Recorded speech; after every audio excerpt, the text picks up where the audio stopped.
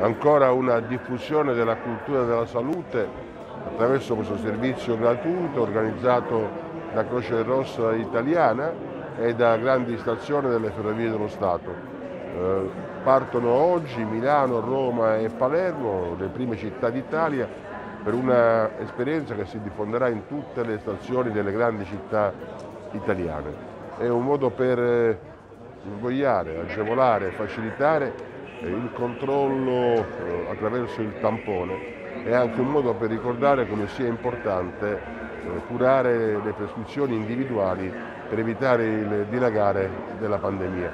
Siamo sulla buona strada, credo che la cura personale per la propria salute da parte di tutti e l'aumento dei vaccini potrà consentirci di uscire da questo terribile tunnel.